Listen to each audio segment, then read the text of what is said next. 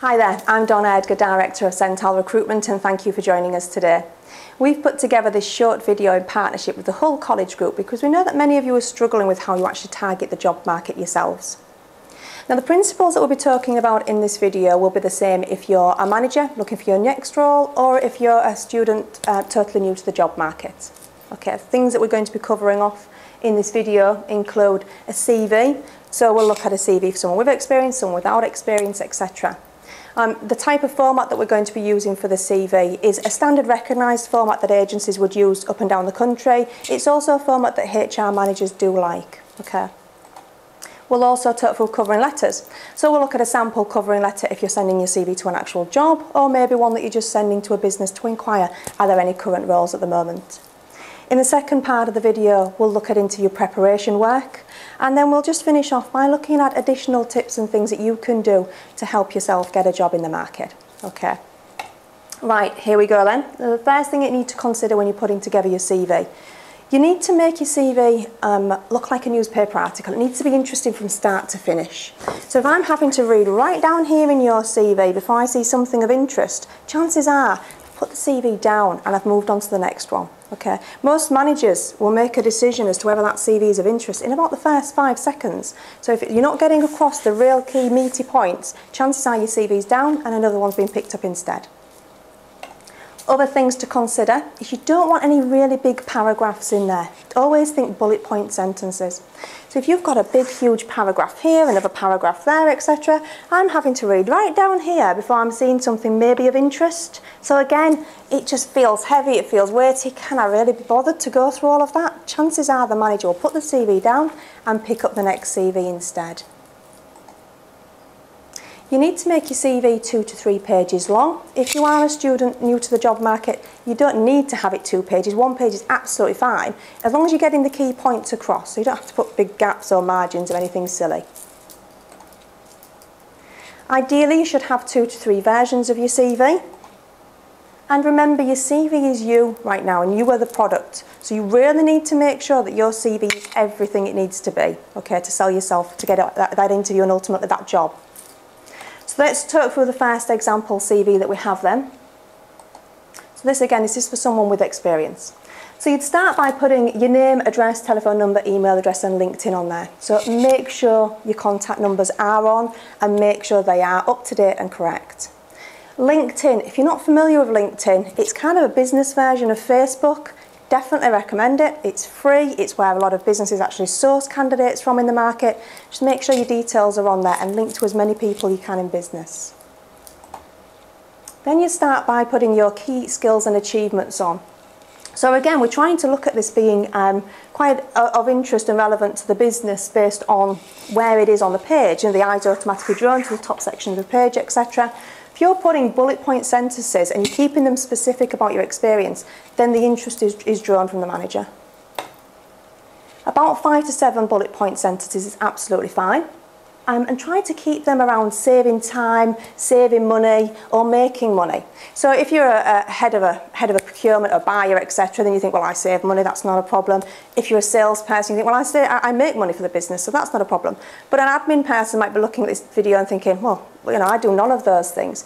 But you do. Chances are you've maybe changed a filing system, the way that documents are retrieved in the past. You've made it easier for, for the rest of the staff to be able to get those, made the business more productive. So just try and think of all those types of things that you've done. Um, and give examples that show the level of work that you've had and responsibility. So if you have managed a team of 10 people, tell them you've managed a team of 10 people. Tell them what types of people you've managed, different professions, etc. Or maybe you've buddied someone new coming into the business or trained an apprentice. Again, it just shows what kind of level you're used to working at. Next thing you'd add a, prof, a short um, profile about yourself, just one or two lines, absolutely fine. I've given you an example on here. So I put versatile and efficient accountant with um, extensive experience in the manufacturing industry. So straight away, the person reading it likes the look of the key achievements, knows what he does, knows where what industry he's used to working in, etc. So that makes it very relevant for that business. Um, employment history, dates of employment, company name um, and position. I don't mean to actually have those. I don't mean put dates of employment and then put your dates of employment, over type what I've written there. So dates of employment, if you have got a lot of movement or maybe you've had a lot of temp jobs being made redundant, just put that next to the dates in brackets. It explains it, it's less question marks on your CV the better. The company name, um, and then your position. So let's say you have a weird and wonderful title that you think is fantastic, but out in the wider market, that, that title is known as something totally different. Put the job title in, but maybe put in brackets what it actually means. Because again, uh, a company needs to know what, what you're used to doing in order to get you that interview. Uh, when I was about 19, I was a systems administrator for a business. I thought it was a fantastic title at that, that age. But I was getting calls about IT jobs not, not what I did. I was an admin girl at the end of the day. So I would have been better just putting administrator or at least putting it into the brackets. Okay. Next thing then, you'd open with a couple of lines about the company. I've given you an example again. So Made Up Company Limited are a global steel manufacturer that make products for the construction industry. So again, if I'm in the steel uh, production um, industry or I'm a manufacturer of products or I'm dealing with companies in the construction industry, your CV is, CV is very, very relevant. So you really need to get through with all of those points if you can. Again, add some key bullet points. Again, make them meaty, five to seven, per job, etc. That said, if you've had 20 years at one business and two weeks at another business, you would have more bullet points at the one 20 years and just maybe one or two at the one that was a couple of weeks. You'd add your key achievements in. Everyone's had some real successes at different businesses. Try to think of one or two per company you've worked at. Um, if there's a gap in your experience, maybe you've take, taken time out to raise a family. I have in the past. Everyone does it. Maybe you've taken time out to, to take care of a sick relative. Just explain those gaps in there. Again, it's less question marks for the manager reading through it. Again, then you'd move on to your next company, etc., until you've kind of finished your, the feel of your CV. So qualifications, um, any relevant qualifications. If the company is asking for someone with a CIPD qualification in HR, for example, then maybe move that up to your key skills and achievements for that particular job when you're sending that one out. But ultimately, your CV, uh, your qualification should all be listed a little bit further down. Once you've got, say, five to 10 years experience in a business, you really don't need to worry about putting your GCSEs in anymore. As long as you've got some practical experience behind you, um, people are more interested in the work side after that point. If you haven't, or you're still pushing to get into the, the chosen market, then absolutely keep those on. Um, any systems used, if you've used Excel, spreadsheets, Word, etc., they're all key selling points for you. They're all things that businesses are interested in. So make sure you're putting them on there. If you've got a driving licence and a car, fantastic selling point no matter what the job is, because it means you can be more flexible over location, etc. So again, make sure it's on your CV. And hobbies, just a couple of lines that make you a person rather than just a name on a piece of paper. Be careful with hobbies. Sometimes people put together very, very short CVs, but huge details on what they like to do in the, uh, in the, the private time. Don't mention things like socialising with friends. We all like to have a good time when we go out, but does the potential employer need to know that? Um, be careful about any sports clubs that you support. You might be an avid Arsenal fan, but a Manchester United fan reading that document might not like that. So you need to just bear in mind how that could be perceived. Okay. Right, so let's move on to the CV of someone without experience. And so this is someone, um, a student new to the market or maybe a school leaver. Again, you'd start with the same kind of details, your key achievements, etc. And those could be from your courses or maybe any voluntary work, etc. you've done. Profile, so again, add a couple of sentences. An example I've given here is versatile and capable microbiology graduate seeking to expand my experience within the pharmaceutical industry. So again, I know what you do and what you're looking for. Qualifications. So this time we've moved your qualifications further up because it's more relevant for that type of a CV. You really are, that's your key selling point at the moment. So you really need to make sure you're getting that across. Um, study projects. Because you won't have had the actual work experience as such in your chosen area, but you've maybe worked on relevant study projects during the time at college or university, then these are things that you really need to be getting into here. Again, bullet point sentences, make it interesting, make it relevant, etc. Um, if you have had any employment history, so maybe you've paid your own way to, um, to go to college or university and you've had a part-time job in a shop or maybe worked in a bar, etc., just put that down because it just shows you that you're hard working, it maybe shows that you're good with people, etc. And also dependent on where you've worked, it might show you're very branded in the past if you've worked for some very good company names. If you did do um, any of these roles that were during term time, part-time, etc. You don't want it to look like you've job hopped. So again, put next to the dates, part-time, during study, etc. Just to explain that away. You then go on to your systems used, Excel, Word, Outlook, etc. If you are an IT person, you've used lots and lots of systems, you can either put it in here, but if you think that your CV is going to be going past that two to three page, page mark, then maybe have an additional page that lists all of your systems. Okay, and the same goes with a project manager that maybe worked on a lot of extensive projects. There's nothing wrong with keeping your CV as it is at two to three pages, but then having a separate document listing those types of things down.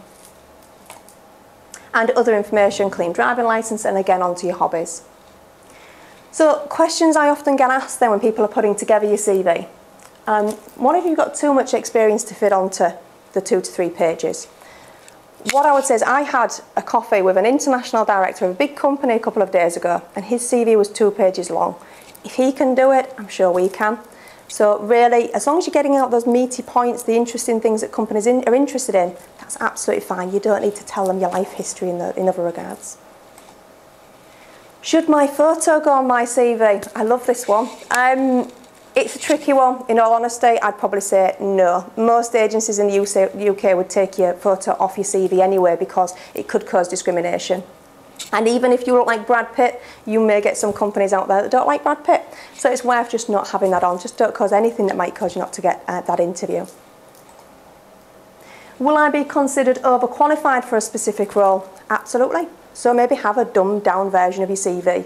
If you've been a director in the past, have a version that says you're a manager, etc. Or if you've been a manager and you want an assistant manager post, just play it down a little bit. There's nothing wrong with doing that. People do it all the time in business. It's not lying on a CV. You're not exaggerating your, your skills. You're downgrading yourself so that you can get something in the market. And people often get worried when they do see director on a CV. You may think it makes you sound fantastic. It does. But equally, if I'm a business and I'm looking to employ someone that I then want to manage, will a director want to be taking orders from me? So you need to really think about it in those regards, how it could be perceived. Um, and how can I get experience in my desired industry. So if you are a student totally new or maybe you've worked in the hospitality industry for 20 years and you want to move into manufacturing now, if you are struggling with getting into that area, the best thing to do is to offer to volunteer. So when you're putting your covering letter out, offer to do a month free with the business to gain experience, etc. And you'll be surprised how many businesses will take you up on that. Right, what you need to do next then, you need to review your current CV um, go through it, make sure it's in the kind of format, again, it's to the point, etc., that we've discussed. Blow your own trumpet. So many people don't know how to actually brag about their experience and sell themselves, which is absolutely fine. You know, it's, it's, there's no problem with that. But the best way to get it onto this CV document is to go home, give your, your wife or your son or your best friend a pad and pen, make them a cup of tea, sit down and just for half an hour say, I just want to brag about everything I've done in businesses. I want to tell you about the successes I've had and the different things that I've worked on because you're in a, you're in a comfortable environment, you feel safe in there. So chances are that you will be able to come up with some good things and there may be some things that you think, nope, nope, nope, but there's a couple of real key ones you want to get on your CV. Okay.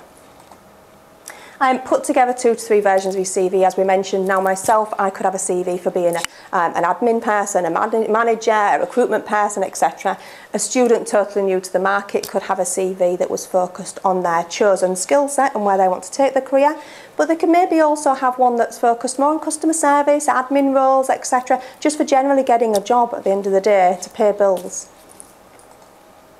Um, and check it and check it again because the amount of time I read a CV and it's got spelling errors, grammar, uh, grammar errors, etc. One mistake's fine, a couple of mistakes maybe, but if you've got continuous errors in there, it just makes you look sloppy. So read it, proof it, give it to someone else, ask them to check it for you, etc. Really make sure you get that document correct. Now we're going to move on to covering letters then. And the first covering letter we've got is for someone that's applying for a job. So again, contact details at the top. Mark the, um, mark the letter private and confidential. So if you're sending a letter out and a CV out in post, if it's marked private and confidential, it's guaranteed to get opened by that person and that manager. Don't get me wrong, directors who have PAs, their PAs will open their post in that regard, but most people will only open their own if it says that. That said, a lot of applications nowadays are done via job sites, uh, via agencies, um, etc., or maybe via emails to companies um, direct. But again, you need to really get make sure that's on there, it makes it relevant for that person. Make sure the manager's name's on, the position, etc., company name, etc. Dear Mr. Blah, you, you, ideally go straight into what you want to talk to them about. So this guy is an accountant, he wants to talk to them about accountant roles. So he's put here, please find attached a copy of my up-to-date CV for your consideration with regards to the above mentioned position. So straight away they know why he's sending his document to them. As you will see, I have extensive experience in accounts, uh, sorry, in accounts management from my time working as a manufacturing accountant with Made Up Company Limited. I've also worked specifically on project-related accounts, which I know is another key requirement for the role, and thus feel that I would be an excellent match for this position. So again, he's drawn out why he wants to work specific, specific, specifically for that business. Um, they then feel that he wants to work with them. He's not just sent that letter out to a thousand companies, etc. Um, and he's made it very relevant for the job as well with what he's put in there. I would very much appreciate the opportunity of meeting with yourselves to discuss the possibility of my joining your company in more detail and I'm available for immediate interview if required. So again, he's kind of opened up very friendly, gone straight into why he's sending the letter um, and then asked for that potential next contact to be made. Thank you for your kind attention in this matter. If you require any further information, please feel free to contact me. I look forward to hearing from you soon. You would close with yours sincerely or faithfully. It's sincerely if you know the name of the person you're sending the letter to, or faithfully if it's dear sir, madam. Okay. And again, a, a covering letter doesn't have to be war and peace. Keep it quite short. The next letter then that we're going to look at is for someone that's just sending the CV on, on spec. They want to know are there any current jobs at that business. So again, private and confidential, manager's name, etc. So this one's for microbiology stroke lab-related roles. I know from my experience as a recent science graduate that another made-up company limited have an excellent reputation in, of manufacturing pharmaceutical products. Having just graduated with a 2-1 in microbiology, I'm now actively seeking employment within your industry and another made-up company limited are definitely a key target employer for me. So again, that business feels like you really, you've looked into them, you want to work with them. I would very much appreciate the opportunity of meeting with yourselves to discuss the possibility of my joining your company in more detail and I'm, I'm available for immediate interview if required. If you did want to offer to volunteer with a business, that's potentially where you would be putting it or um, as well actually where the job title is maybe put up there, voluntary roles. Thank you for your kind attention in this matter and if you require any further information, please feel free to contact me. Look forward to hearing from you and again, close the letter. So what you need to do next, you need to put together two sample co um, covering letters. So the first one would be for a live job, and it's just a draft version. And the second one would be for when you want to send it on spec to a business. The idea is that once you've got those, you just need to tweak them and change them around the, um, the relevant company that you're applying to. The same would go for your CV. I, and don't rely on a covering letter. Um, so many managers, and I've worked in HR for a long time before I moved into recruitment, what tends to happen, let's say this is a covering letter with the CV attached, first thing the manager will do is turn it over. They'll start reading the CV. If it's not in there, in that top section, chances are they'll never even look at this. And they might not look at it until interview stage anyway. But you need to make sure that, yes, absolutely put a covering letter together, make it relevant, but equally don't rely on it. hope you found that useful and we're going to join you shortly again for the second part of the video.